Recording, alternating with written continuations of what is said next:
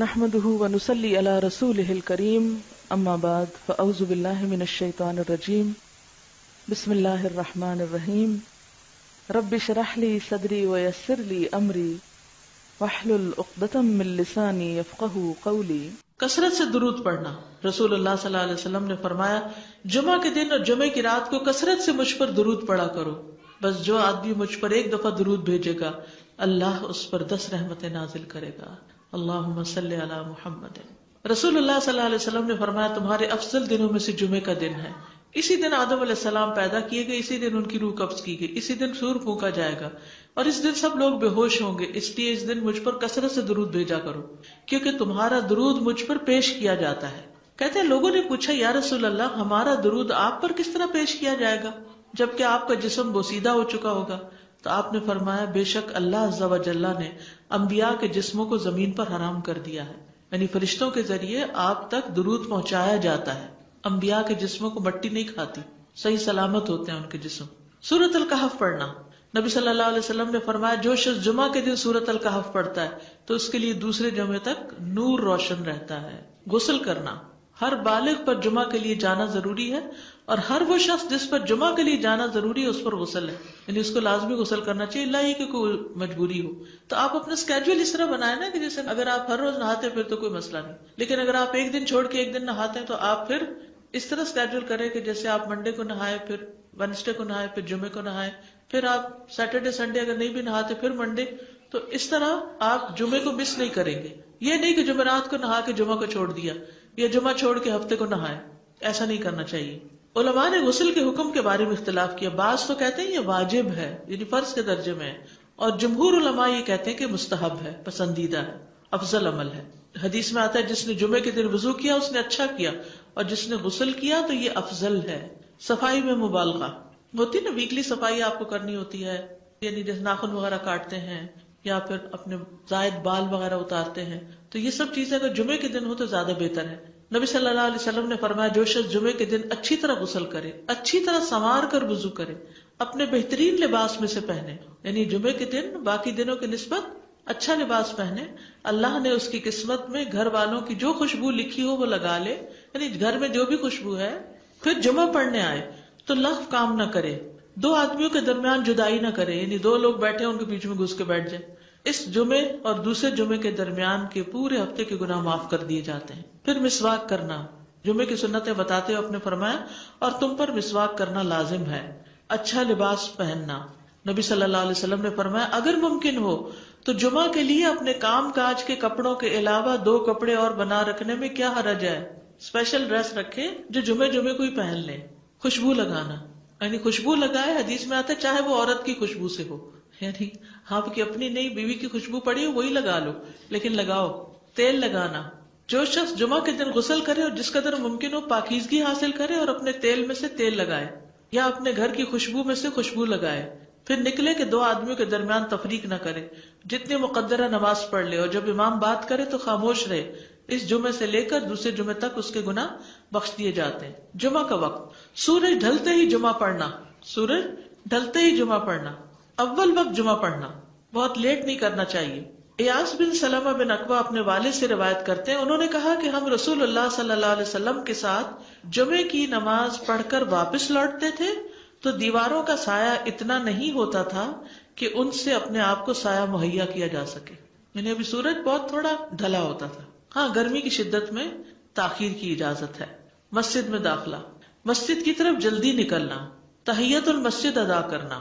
امر بن دینار کہتے ہیں، انہوں نے جابر رضی اللہ عنہ کو کہتے ہوئے سنا کہ ایک شخص جمعہ کے دن مسجد میں داخل ہوا۔ اس حال میں کہ نبی صلی اللہ علیہ وسلم خطبہ دے رہے تھے۔ تو آپ نے فرمایا، کیا تم نے نماز پڑھی؟ اس نے کہا، نہیں۔ تو آپ نے فرمایا، کھڑے ہو، دو رکتیں پڑھو۔ اب یہ بڑا اہم مسئلہ ہے۔ مسجد میں داخل ہو، چاہے خطبہ ہو رہا ہو، دو رکت پڑھے بغیر نہ بیٹھو، ٹھیک ہے؟ اور یہ کیا ہے؟ دراصل تحیت المسجد یہ جمعے کی سنتیں نہیں ہیں۔ یہ کیا ہے؟ تحیت المسجد ہے اور مختصر پڑھی جائیں۔ یعنی امام جب خطبہ دے رہا ہو تو چاہیے کہ دو رکتیں پڑھے اور دونوں میں اختصار کرے۔ نماز سے قبل ہلکا بنانے کی ممانت مثلا آپ جلدی چلے گئے تو یہ نہیں کہ ایک گروپ بنا کے آپس میں گپ شپ شروع کر دیں۔ نہیں، سیدھے ہی لائنوں میں بیٹھیے۔ انتظار کا وقت کیسے گزاریں گے؟ نفل پڑھ کے بیٹھ گئے، ذکر ازکار کریں، قبلے کی طرف رک کر کے لائنوں میں بیٹھے ہلکا نہیں بنائے بیٹھ کے خرید و فروخت نہیں کرے تاخیر سے آنے پہ گردنے پھلان کے نہ آگے جائیں۔ رسول اللہ صلی اللہ علیہ وسلم نے فرمایا، ٹیک لگا کے مت کھاؤ۔ یہ عام ایک ادب بتایا۔ یعنی اس طرح ٹیک لگا کے نہیں کھاؤ۔ کھانے کے وقت سیدھے ہو جاؤ۔ چھنے ہوئے آٹے کی روٹی نہ کھاؤ۔ میدا مسجد میں کوئی جگہ مقرر نہ کرو کہ یہ میری جگہ ہے۔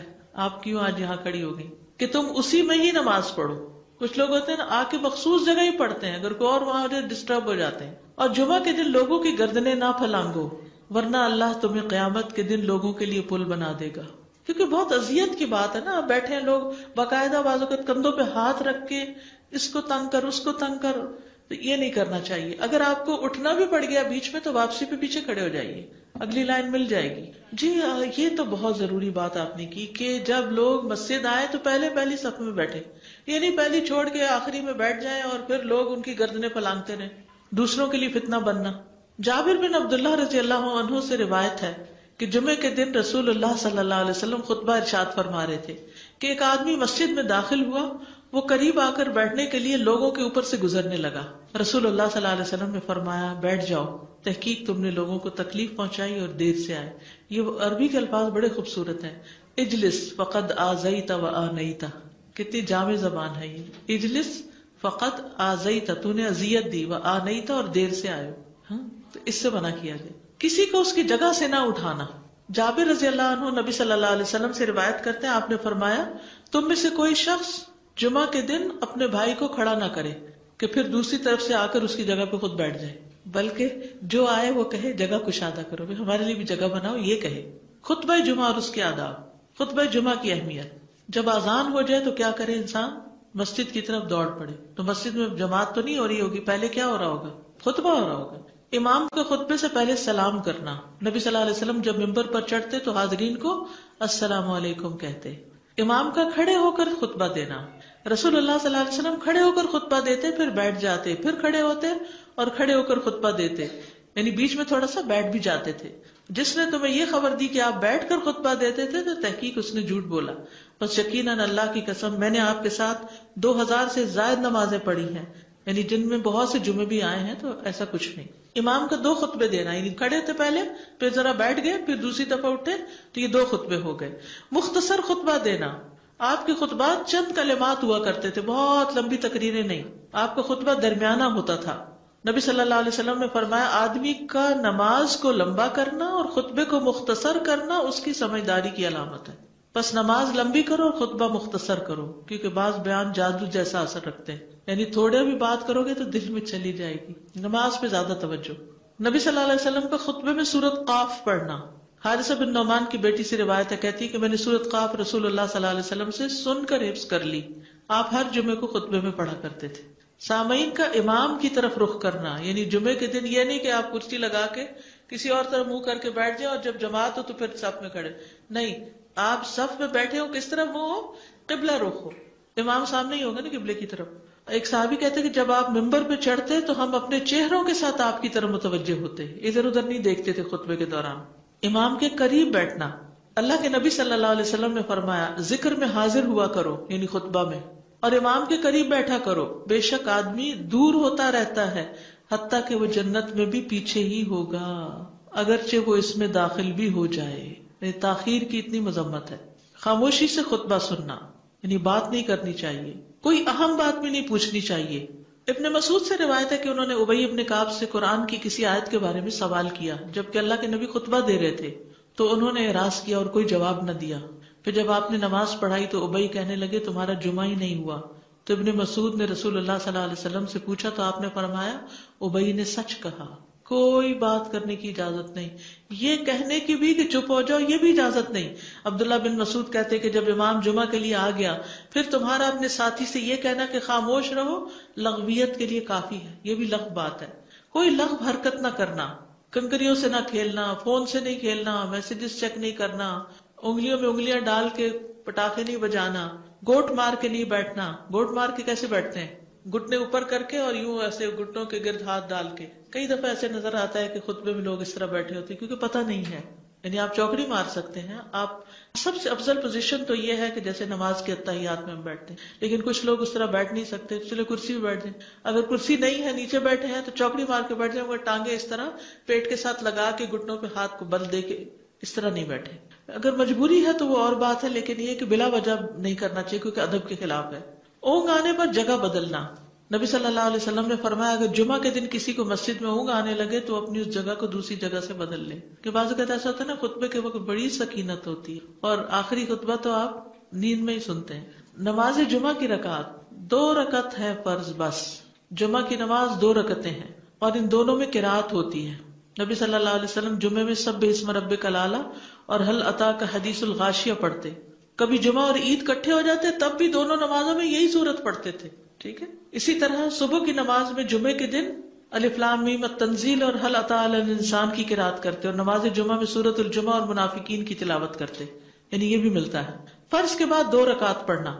عبداللہ بن عمر سے روایت ہے، انہوں نے رسول اللہ صلی اللہ علیہ وسلم کی نفل نماز کو بیان کیا اور کہا کہ آپ جمعے کے بعد کوئی نفل نماز نہیں پڑھتے تھے، حتیٰ کہ واپس تشریف لے جاتے، پھر اپنے گھر میں دو رکت پڑھتے تھے۔ اب جو لوگ گھر نہیں جاتے تو پھر وہیں پر وہ پڑھ لیتے ہیں، ورنہ آپ صلی اللہ علیہ وسلم اپنی سنتیں وغیرہ گھر میں پڑھتے تھے۔ اور اسی طرح چار بھی پڑھی جا سکتی، دو بھی ہیں، چار بھی ہیں۔ آپ صلی اللہ علیہ وسلم نے فرمایا، جب تم میں سے کوئی جمعہ پڑھ چکے تو اس کے بعد چار رکتیں پڑھے، یہ آپ کا حکم ہے۔ تو جب آپ کا دو چیزیں ہوتی ہیں سمجھنے کے لیے، ایک آپ کا فیل ہوتا ہے اور ایک آپ کا حکم ہوتا ہے۔ تو ہمارے لیے کیا ہے جو آپ کا حکم ہو؟ جمعے کے بعد کوئی اور نماز پڑھنے سے پہلے گفتگو کرنا یعنی سنت پڑھنے سے پہلے گفتگو کرنا۔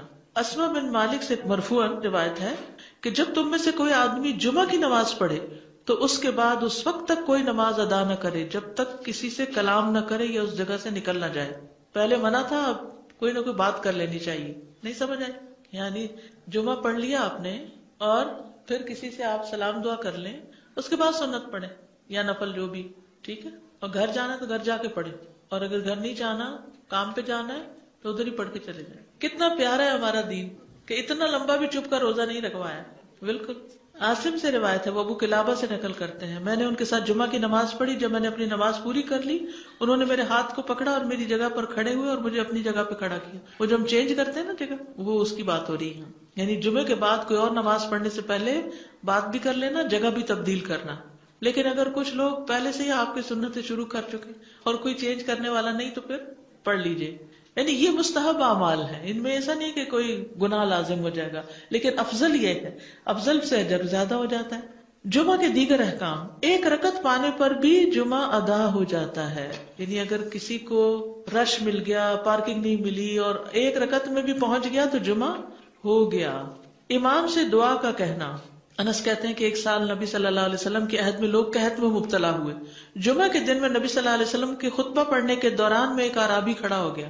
کہا، یا رسول اللہ، مال تباہ ہو گئے، بچے بھوکے مرنے لگے، اس لیے آپ اللہ سے ہمارے حق میں دعا کیجیے آپ نے اپنے دونوں ہاتھ اٹھائے۔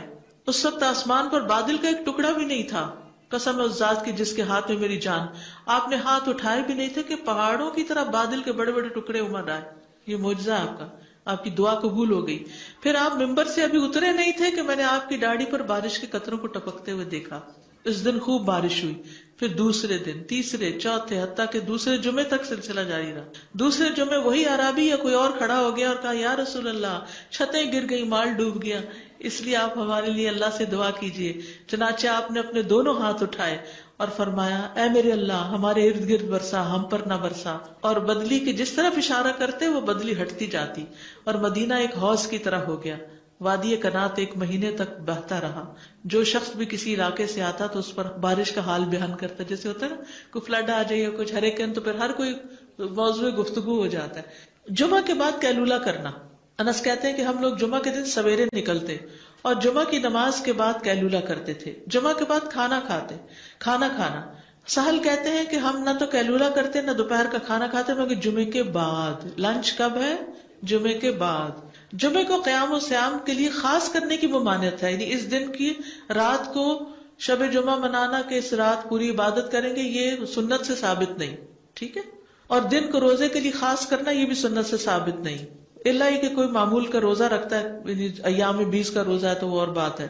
ابو حرارہ سے روایت ہے کہ میں نے رسول اللہ صلی اللہ علیہ وسلم کو فرماتے ہوئے سنا، تم میں سے کوئی شخص جمعہ کے دن روزہ نہ رکھے، مگر یہ کہ اس کے ایک دن پہلے یا اس کے بعد کا دن ملا کر روزہ رکھے۔ جمعہ کے دن خرید و فروخت کی ممانعت ہے۔ جمعہ کے دن جب نماز کے لیے پکارا جائے تو اس وقت اللہ نے خرید و فروخت سے منع کیا ہے۔ وزر البیع اس دن کاروبار حرام ہے۔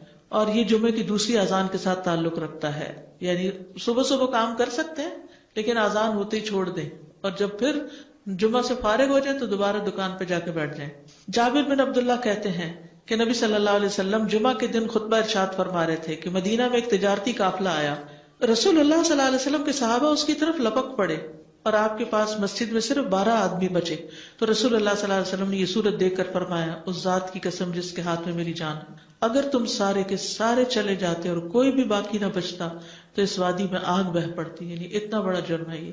پھر یہ آیت نازل ہوئی وہ ادارہ او تجارت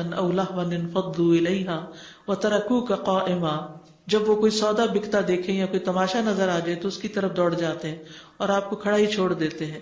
راوی کہتے ہیں، جو بارہ آدمی رسول اللہ صلی اللہ علیہ وسلم کے ساتھ رہے، ان میں ابو بکر اور عمر رضی اللہ عنہ بھی شامل تھے۔ جمعے کے دن قبولیت کی گھڑی ہوتی ہے۔ اس وقت اللہ سے بلائی مانگنی چاہیے۔ رسول اللہ صلی اللہ علیہ وسلم نے فرمایا جمعے کے دن میں ایک گھڑی ایسی ہے کہ کوئی مسلمان اللہ سے کسی خیر کا سوال کرتے ہوئے اس کی موافقت نہیں کرتا، مگر اللہ اسے وہی خیر عطا کر دیتا ہے۔ فرمایا، یہ ایک چھوٹی سی گھڑی تھوڑی دیر کے لیے ہوتی ہے اور یہ ہر جمعے کو ہوتی ہے، ٹھیک ہے؟ اور خصوصاً نماز میں بھی اگر کوئی دعا کر رہا ہوتا ہے نا انسان، تو وہ بھی قبول ہو جاتی ہے۔ نماز میں دعا کہاں ہوتی ہے؟ شروع میں ہوتی ہے، رکوع میں ہوتی ہے، سجدے میں ہوتی ہے تشاہد میں ہوتی ہیں۔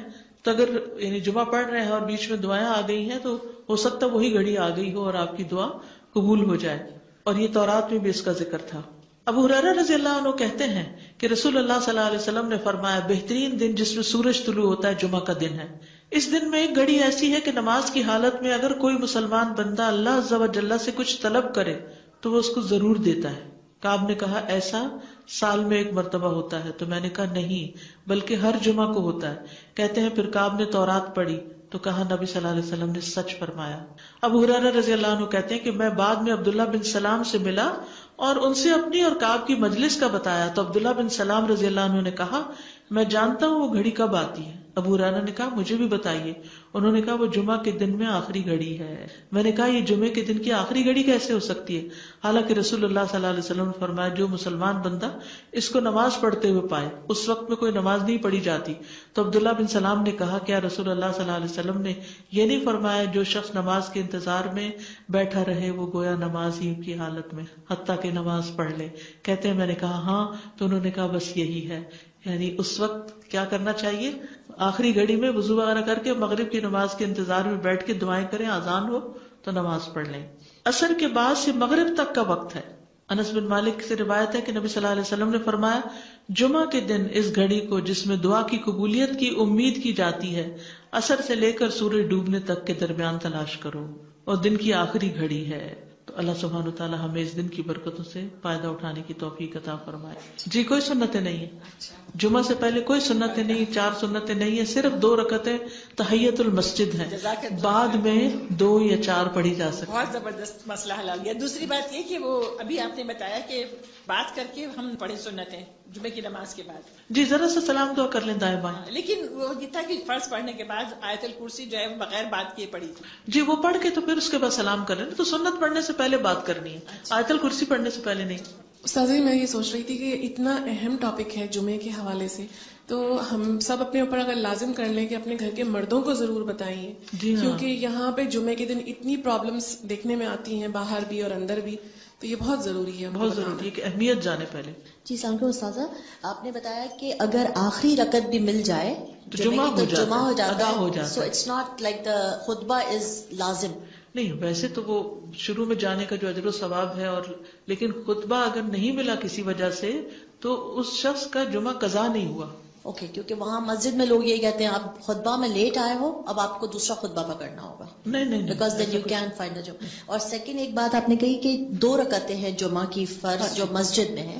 بٹ اگر عورت گھر پر ہے تو پھر چار ہی ہوئے گی۔ ظہر جی۔ کی۔ اوکے ظہر کی چار پڑے گی۔ سازا جی دو کوشچنز ہیں۔ ایک یہ کہ جب خطبہ ختم ہوتا ہے اور جب نماز کے لیے کھڑے ہوتے ہیں تو وہ اس وقت بھی خاموشی ہونی چاہیے۔ جیسے لوگ کہتے ہیں صف جوڑ لیں یا آگے آ جائیں تو اس وقت بھی بات بھی خاموشی بالکل۔ زیادہ بعض لوگ آپ خاموش رہتے ہیں لیکن لوگ آ کے آپ کو یا تو اشارے سے سلام کرتے ہیں یا پھر ہاتھ ملانا چاہتے ہیں۔ نظریں جھکا لیں۔ اسے ہاتھ بھی نہیں ملانا چاہیے ہاتھ ملا لیں لیکن نظریں جھکا لیں تاکہ بات نہ کریں۔ کیونکہ آپ کو پتا ان کو نہیں پتا جی۔ تو پھر بد اخلاقی بھی لگتی ہے کہ وہ بول رہے ہیں اور آپ کچھ نہیں کہہ رہے۔ جزاک اللہ خیر۔ یعنی اپنے عمل سے بتا دیں کہ بولنا نہیں۔ جی السلام علیکم رحمۃ اللہ وبرکاتہ سزا جب ہم مسجد میں نماز پڑھتے ہیں سنتیں ادا کرتے ہیں تو ہم چار ادا کرتے ہیں۔ سننے میں یہ آتا ہے کہ اگر ہم گھر آ کے ادا کریں گے تو دو ادا کریں گے کیا یہ صحیح نبی صلی اللہ علیہ وسلم چونکہ گھر جا کے دو پڑھا کرتے تھے لیکن آپ نے ہمیں چار ادا کرنے کا حکم دیا ہے تو جی۔ اس لیے چار بھی ادا کر سکتے ہیں۔ جی جزاک اللہ خیر۔ کسی کو بتانے کی ضرورت پڑ جائے تو۔ سب سے پہلی بات تو یہ کہ صاحب معاملہ خود استخارہ کریں۔ جی ہاں۔ دوسری بات یہ کہ مکرو اوقات کے علاوہ دو رکعت نفل کبھی بھی پڑھ سکتے جی ہیں۔ ہاں۔ دوسری بات یہ سورہ فاتحہ قرآن کی کوئی بھی صورت ٹھیک ہے۔ پھر ایک سے زیادہ مرتبہ بھی کر سکتے ہیں۔ ٹھیک ہے۔ پھر یہ کہ خواب یا کسی اشارے کا انتظار کوئی حقیقت نہیں۔ ٹھیک ہے۔ آسانیاں اور رکاوٹیں دونوں کا مطلب یہ لے کہ اسی میں خیر ہے۔ ٹھیک ہے۔ اور ہر حال میں راضی ہے کیونکہ وہی جانتا ہے کہ کب کیا اور کون بھی جی ہاں۔ یعنی کام سے نہ رکے جس کام کے لیے استخارہ کیا وہ کام کر لیں پھر اس کے بعد۔ خیر ہی خیر۔ استخارہ خیر خیر گھر میں نماز پڑھے تو پہلے چار سنت پڑھے جی ہاں اور پھر چار فرض پڑھے پھر دو سنت پھر دو نفل۔ جی واخر دعوانا ان الحمد للہ رب العالمین۔ سبحانک اللہم و بحمدک اشہد ان لا الہ الا انت استغفرک و اتوب الیک۔ السلام علیکم و رحمۃ اللہ وبرکاتہ۔